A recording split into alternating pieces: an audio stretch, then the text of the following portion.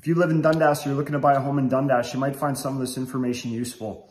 Last year in the first quarter of 2023, we saw 68 houses sell. This year in the first quarter, there were 78 houses sell for about a 15% increase in the number of sales.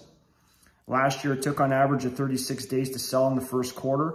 This year, we were down to 28 days on average to sell. Last year, the average sale price in Dundas was just over $840,000 in the first quarter.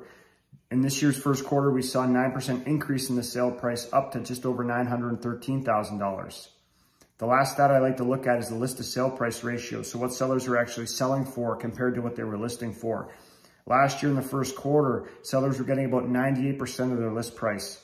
This year, they were up to 99% of their list price. So what that's telling me is a couple of things. Number one, there's more buyers in the market this year than there was a year ago. Second thing is sellers are being a little bit more realistic with their list price, which is allowing them to sell faster and for more money. If you live in a certain neighborhood in Dundas, you're looking in a certain neighborhood and you want some more details on what's happening in those areas, comment below or reach out to me directly and I'd be happy to get that information over to you.